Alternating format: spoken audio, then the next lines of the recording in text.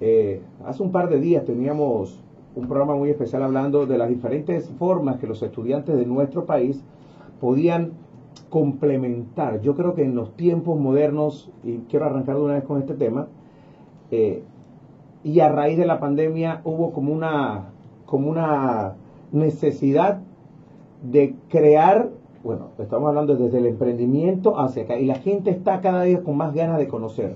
Pero aparte de conocer y aprender, es poner en práctica muchas cosas que quizás lo habíamos aprendido en teoría o que habíamos aprendido porque nos habían dicho o porque a raíz del camino de la vida que nos lleva a aprender también, eh, nos interesa eh, seguir en este constante aprendizaje. Y sobre todo, nuestra universidad busca grandes alianzas, buenos convenios con estos profesionales que le dan esa fe a nuestra política, a nuestra visión y misión como universidad. Digo todo esto para presentar a nuestro invitado del día de hoy.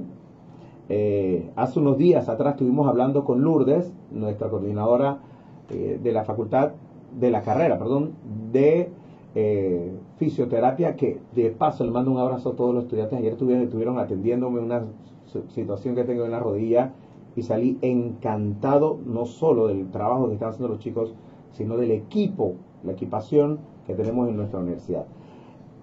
Dicho esto, quiero hablar eh, con el invitado de nosotros.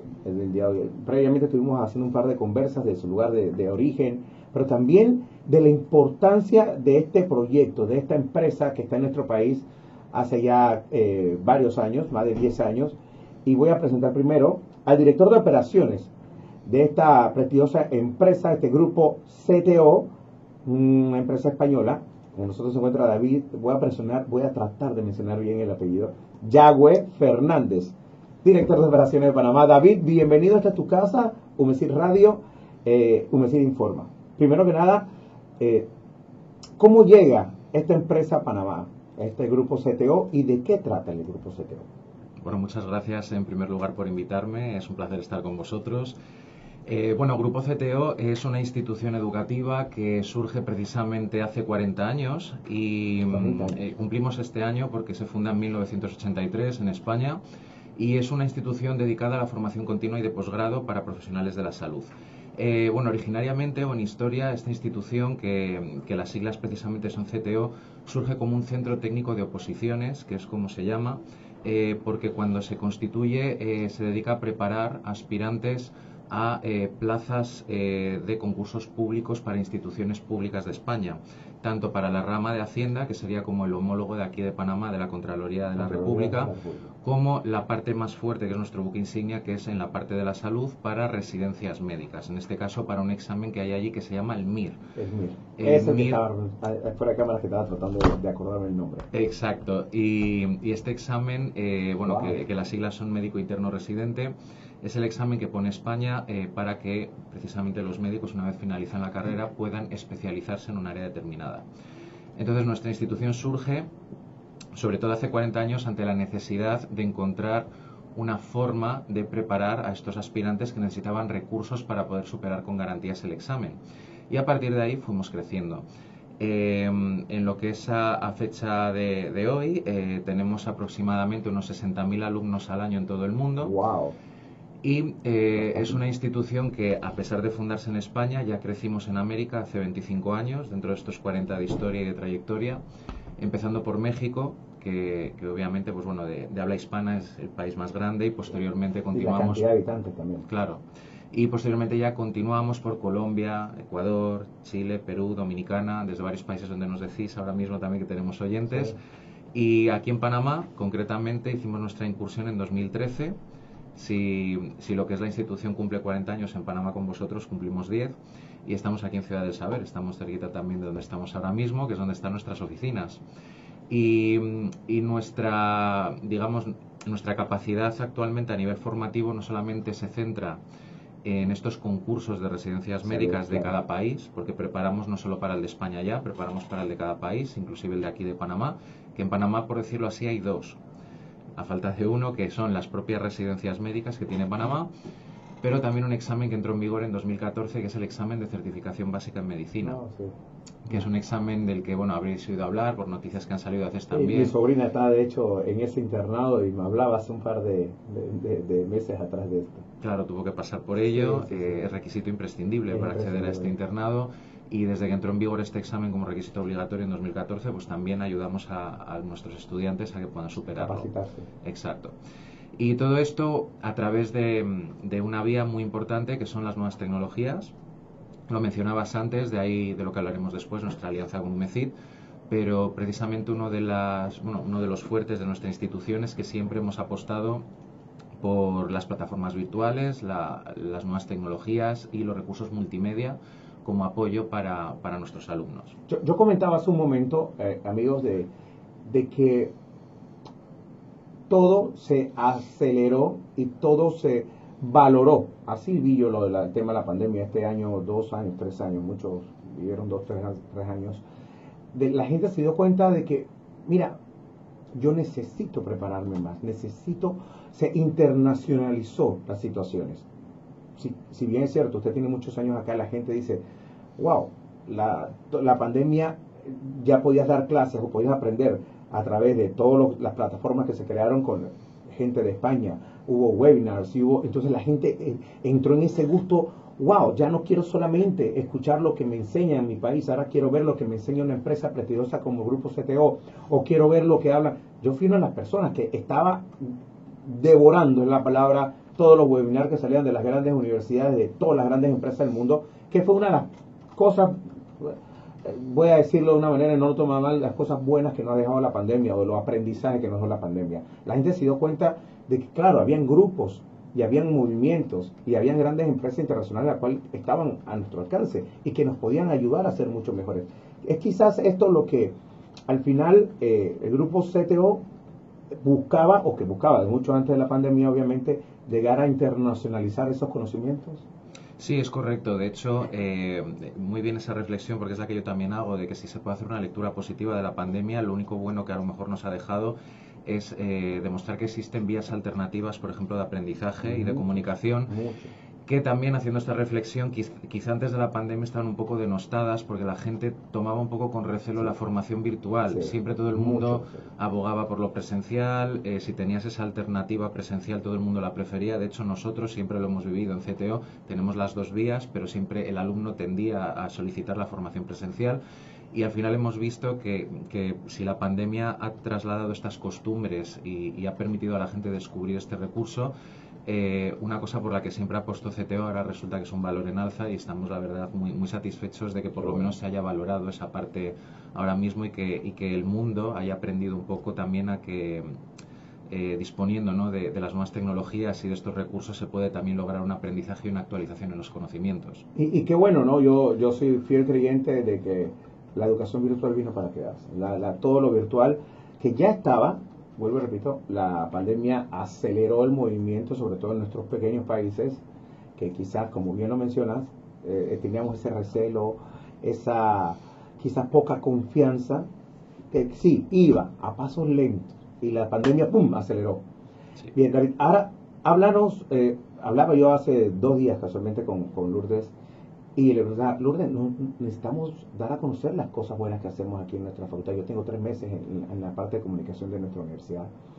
¿Quién me dice? Dice, David es la persona indicada. El grupo CTO con nosotros tiene eh, un, convenio, tiene tantas cosas que hacemos juntos y aparte de ellos, me mencionaba el MIR, es un grupo muy importante para el país, así que te voy a poner en contacto con, con David. David, coméntanos dónde se empieza a tocar esa puerta de UMECID con Grupo CTO. Sí, nuestra relación con UMECID eh, también quedará en el recuerdo porque surge justo un mes antes de que explotara la pandemia. Todo se fragua ahí. Eh, y fue precisamente a comienzos del 2020. Eh, y precisamente por otra división que es la que vamos a conversar ahora, que no solamente tiene que ver con la preparación para concursos de residencias médicas, sino también con la parte más de posgrado, de formación continua, que es con la que nosotros tenemos el vínculo con UMECID.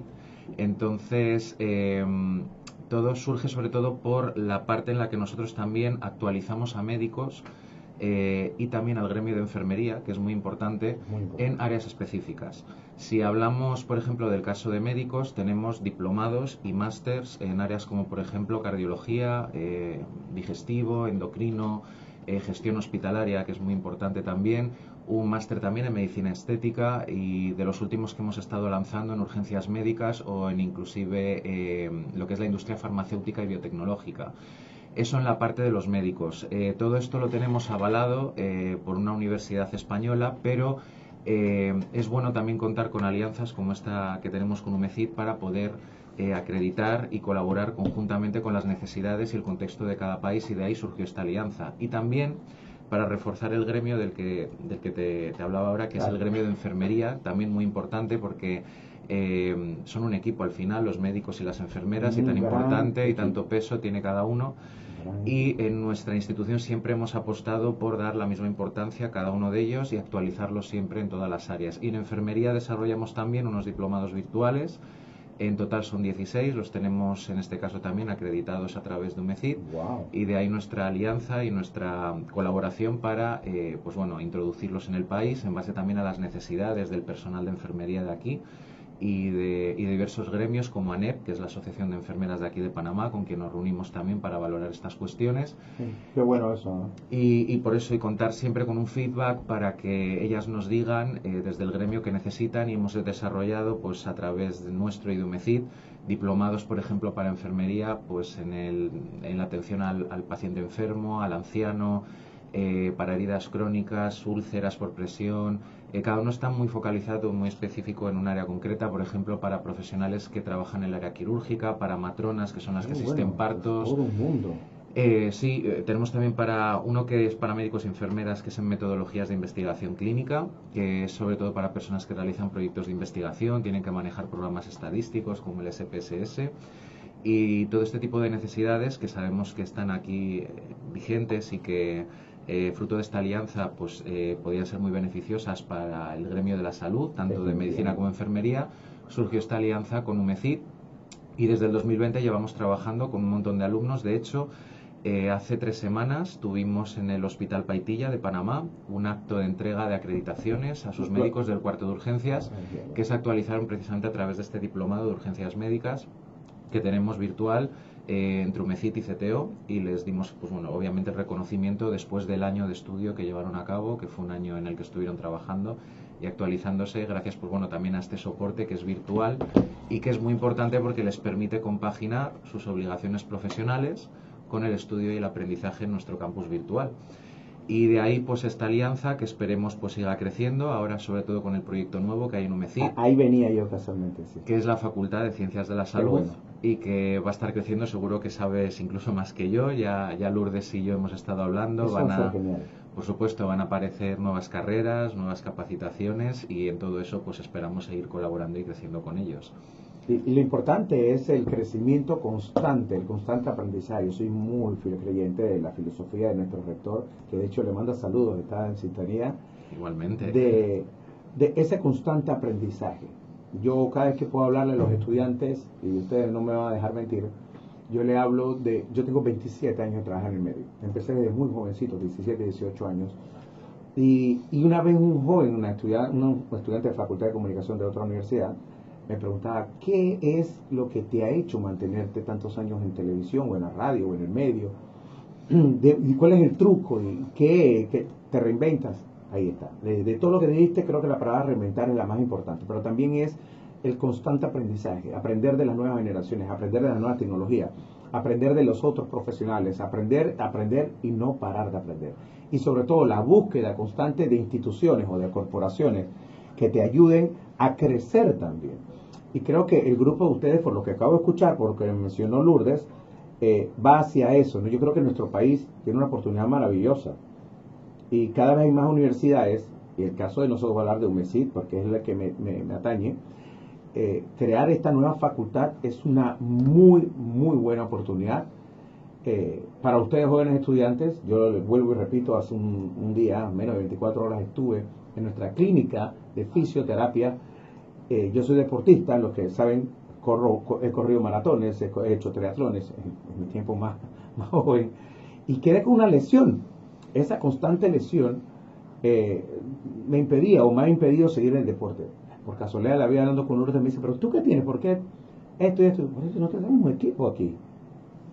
Yo espera, espera, ¿cómo que tenemos equipo? Rolly, ¿cómo que tú trabajas con comunicación? No sabes que tenemos este equipo para la rodilla de última generación y, y los muchachos han ido trabajando para... Yo entré y ayer salí extremadamente sorprendido y muy, una, sorpresa muy grata, no solo del equipo, de ver la forma en que los jóvenes estaban trabajando. Y tiene que ver mucho quizás con este tipo de, de, convenios y de uniones que tenemos con empresas como la tuya.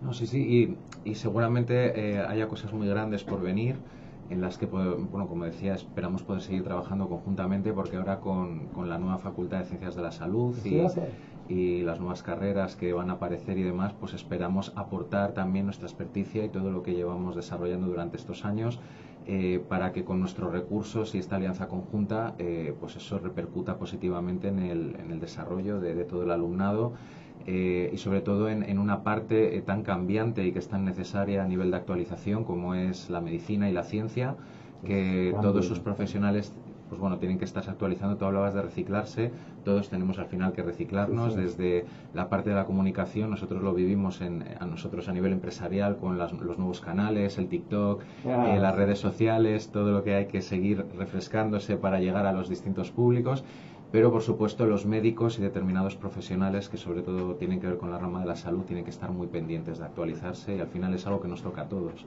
Sabes que eh, yo hablando yo, soy una persona, yo soy un comunicador social a carta cabal. A veces yo voy pensando en la, yo voy al cine y veo una película que le comentaba, mi esposa ve la parte de lo, yo estoy viendo la edición, los guiones, yo voy, ah, mira, ya no se usa la técnica tal. Yo voy viendo, consumiendo, como la palabra devorar es la que me gusta, todas las nuevas tecnologías. Voy, ah, mira, ya no hacen, ya los guiones no lo leen eh, mirando hacia un lado, ahora ya veo que tiene aquí el otro. Y voy retroalimentándome. Pero algo sí, y sí siento que ha cambiado mucho, y lo acabas de mencionar, David, y, voy a traer ese punto a colación, que la comunicación social, y siempre lo menciona, ya no se ataña al comunicador social, guardando todo el respeto del mundo, yo soy un comunicador social graduado de la Universidad de, de Comunicación, pero se ha expandido tanto el tema de las redes sociales y se ha vuelto comercial, en el buen sentido de la palabra, que hoy en día un abogado necesita tener su página y que, y que de repente un community manager que le, maneje la, la, la, su, su, imagen, que le maneje la forma de que va a hablar, a un doctor. Cualquier cantidad de doctores tienen y, y de profesionales de la salud tienen su propio eh, canal de YouTube o tienen su propia Instagram eh, o en TikTok, consejos, pero ahora también con los podcasts se ha abierto los rangos de comunicación. Entonces, sí, hay que estar a la vanguardia, no solamente de lo que atañe a su, a su filosofía o a su trabajo, en el caso de la salud, también hay que ir ampliando los conocimientos en la, en la, de, alguna manera poder llegar a las demás personas y lo acaba de tocar muy bien. La comunicación a través de las redes sociales abrió ese compás y cada día hay más personas buscando este, este tipo de comunicación que, que también la pandemia aceleró. Y cada día cambia más rápido. cada día cambia. Cuando aprendes uno, uh, aprendí a usar TikTok hace poco, ya no ahora, es otra cosa. Qué increíble, ¿no? Sí, sí, es un mundo muy cambiante y no queda otra que estar pendiente en, todos los ámbitos, no solo en el educativo, en todo lo que tiene que ver también con comunicación. Al final es, es una actividad 360 que, que es fundamental para, para, cualquier institución, para cualquier empresa y para poder cubrir las necesidades del público que lo demande. Hombre, David, yo creo que para nosotros siempre es un placer tener a profesionales como ustedes, y hablo de ustedes porque siempre yo sé que detrás de ti hay un grupo muy grande de profesionales que también están detrás de este, de este grupo. Este grupo, como bien lo dices, 40 años, bastante adelantado para los tiempos. Quizás eh, muchas cosas han cambiado, mucho agua ha pasado debajo de esos puentes, de esos ríos. ¿Qué consideras tú? me mencionabas la parte de la comunicación, que ha, eh, y nueve años de vivir en nuestro país ha cambiado en cuanto al pensamiento del estudiantado eh, y que ha podido vivir en este tiempo en Panamá? Eh, bueno, yo principalmente he percibido dos cosas. Una, eh, que ha costado, lo que hablábamos antes, que el estudiante valore los entornos virtuales como una alternativa a la presencialidad para el aprendizaje y que vean que sobre todo, que esas, yo creo que es el principal recelo que tenían, que es un entorno en el que siguen estando acompañados No necesitas estar presencialmente en un aula para tener un tutor en línea al que puedas acudir en cualquier momento que tengas una duda, una inquietud. Eh, tener clases en vivo, en streaming, en las que tú puedes preguntar al, al, profesor en directo sin tenerte que mover de tu casa.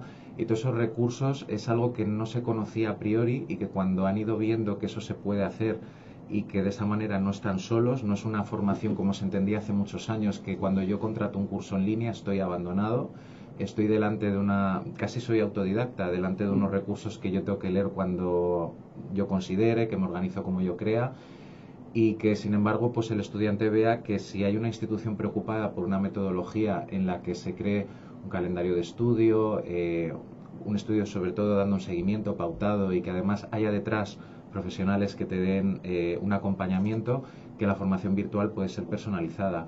Y luego también, por supuesto, aparte de esto, que es quizá lo que más peso ha ido adquiriendo, la importancia también, insisto, de actualizarse y no de pensar que cuando ya has terminado una carrera... Ya lo tengo todo. Ya tengo todo adquirido, ya simplemente es meterme en el mercado laboral y, no es así, y sobre todo son profesiones como las de la rama de la salud. Eh, es todo muy cambiante, eh, constantemente hay avances en los que hay que estar al día y esa actualización es necesaria a través del aprendizaje y creo que eso también eh, se han ido mentalizando poco a poco con la formación continua y, la formación de posgrado en el, en el ámbito de la salud de los profesionales de aquí de Panamá. Qué bien. Y estamos muy contentos por ello. No, y nosotros, obviamente, como casa de estudio, estamos muy contentos de, ser eh, o de empezar esta alianza con ustedes que seguro, como bien lo menciona, va a crecer con la creación ya, ya a las puertas de nuestra Facultad de Ciencias de la Salud. Yo creo que no va a ser la última vez que te vamos a tener, de hecho, aquí con nosotros en entrevista, que vengas también con colegas y sigas hablándonos, David, eh, en otra ocasión de todos los procesos, cómo vamos, qué, qué se está haciendo, las cosas buenas, nuevas, para, para eso estamos aquí, en este Humesit Radio. Y de, verdad ha sido un verdadero placer. ¿Algún mensaje que le quieran mandar a los jóvenes estudiantes? Eh, bueno, que nosotros estamos a su disposición eh, junto con la institución con MECID para apoyarles en, cualquier inquietud a nivel de aprendizaje que puedan tener, sobre todo en la rama de la salud, que es la que a nosotros nos corresponde. Y como consejo que, que siempre, que es lo que hemos estado hablando ahora, que siempre estén anuentes de todas las nuevas tecnologías, de todos los cambios que hay eh, de todo lo que se produzca en su entorno para que se puedan nutrir de todo el aprendizaje que puedan y que eso les convierta en los mejores profesionales de su área, no solo en la de la salud de la que estamos hablando hoy, sino de cualquiera de las disciplinas eh, que puedan estar estudiando en este momento, porque es lo que hemos hablado yo creo ahora al cierre, que no basta solo con estudiar una carrera, ahora cuando terminen, cuando entren mm. al mercado laboral, verán que para seguir creciendo tienen que seguir aprendiendo, que eso es, es fundamental, es necesario y que la formación continua, insisto, sea parte de su día a día y que además no la vean como algo aburrido porque ahora, eh, no por nosotros hablo en general, eh, muchas instituciones se preocupan porque la formación sea dinámica, entretenida y que el aprendizaje eh, no sea, por decirlo así, un sacrificio, sino una parte interesante del crecimiento personal de cada uno. Qué bueno, me quedo con esas palabras, David. también, aparte de agradecerte nuestra visita, esta interesante entrevista, aquellas personas o aquellas instituciones que quieran contactarnos a ustedes para tener algún tipo de acercamiento, como lo ha tenido Mesit, ¿dónde pueden localizarlo? Pues eh, sí, como decía, estábamos cerquita de, aquí del estudio, estamos, es donde llevamos estos años, en Ciudad del Saber. Estamos en el edificio Innova 104, es el que está justo eh, al lado de la fundación misma de Ciudad del Saber, a la entrada de, las instalaciones aquí en Clayton. Y ahí en las oficinas es donde estamos. Eh, tenemos un teléfono de contacto por WhatsApp o por llamada, donde también pueden dirigirse a nosotros, que es el 6378 2299 y ahí nos pueden contactar para cualquier inquietud que tengan, sobre todo pues eso, eh, para temas relacionados con, con, la parte de la salud, que es a lo que nos dedicamos. David, David Yagüe Fernández, director de operaciones en Panamá de Grupo CTO. Qué honor tenerte aquí, David. Espero, vuelvo, repito, no sea la última vez y que estas alianzas sigan creciendo y fortaleciéndose como debe ser. El placer es mío. Muchas gracias. Bueno, esto es parte de una entrevista de la, de la que hemos empezado en este 2023 no solamente hablar de nuestros estudiantes, sino también de hablar de todas aquellas personalidades, instituciones, empresas que andan detrás de la formación de nuestros jóvenes estudiantes y también, ¿por qué no?, de, lo que es el profesorado y administrativo y aquellos que trabajamos en las diferentes ramas de esta universidad que cada día crece más, cumple 19 años este año y en los 18 que ha tenido anteriormente va en eso, en busca de la vanguardia, en busca de las cosas que hacen diferentes a nuestra casa de estudio de los demás. Nuevamente gracias David y espero que no sea la última vez. Un trato, ¿ah? Por supuesto que no, el placer es mío. Vámonos con más Vámonos a un pequeño cambio. De regreso venimos con mucho más en este Humecita Informa para el día de hoy, viernes, aquí transmitiendo en vivo desde Ciudad de Saber, Ciudad de Panamá. Regresamos en breve.